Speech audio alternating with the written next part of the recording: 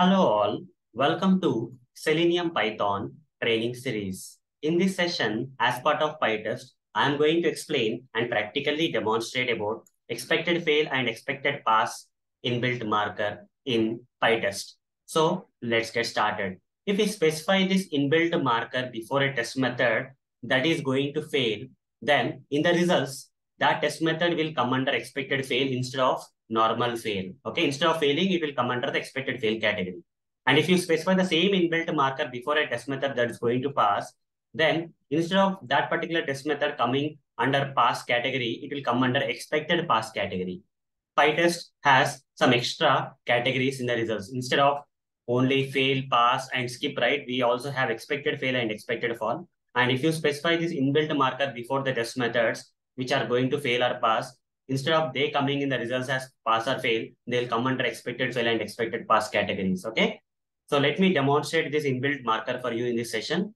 So how does this inbuilt marker will look like? This is how it looks like. Xfail is the name of the inbuilt marker. If you specify this before a test method that's going to pass, instead of coming in the results as pass, it will come as expected pass. If you specify the same inbuilt uh, marker before a test method that's going to fail, instead of the test getting failed, it will come under expected fail category in the results. Okay.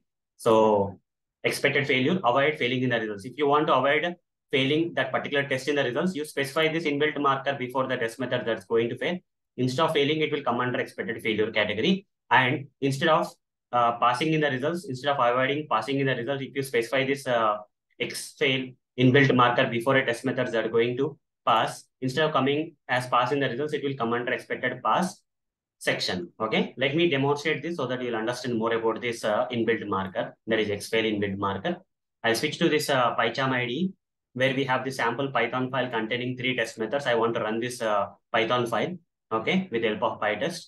So before doing that, so here there are three tests which are specified with some user-defined markers like smoke integration. Here an inbuilt marker skip is uh, mentioned as part of the previous session. So instead of skip, I'll provide here dot xfail. Okay, I am just changing the inbuilt marker from skip to xfail. Uh, this test method is actually going to fall, uh, going to fail. Okay, because assert fa false is there means this test, test method is going to fail. We know that it's going to fail. Instead of uh, this test method coming and falling in the results as fail, I'm just mentioning the marker as xfail. So it will not come under the fail category. Rather, it will come under expected fail category. Okay we know that in advance that this test method is going to fail and we are putting that in the X-fail category. That is a expected failure category.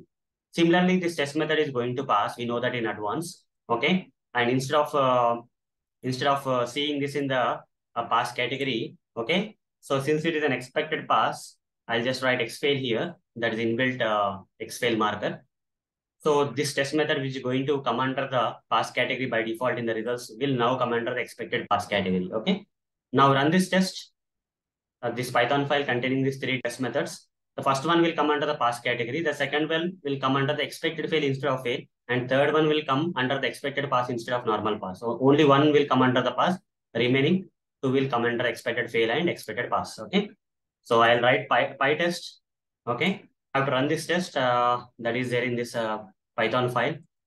Test underscore sample file.py hyphen RA or something, you just do and press enter. Three tests will run. Okay, total three out of three tests and the Python file will run.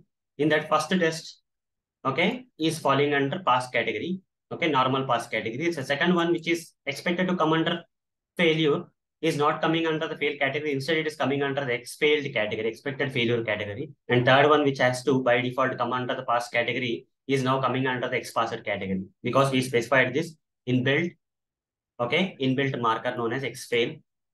As you already know, if you specify that, it will avoid the failure in the results, it will avoid passing the results. Instead, instead the test methods will come under the expected failure and expected pass category in the results. So that's all about this inbuilt marker and how to use this and the purpose of using this inbuilt marker in PyTest. So that's all for this session. See you in the next session. Thank you. Bye-bye.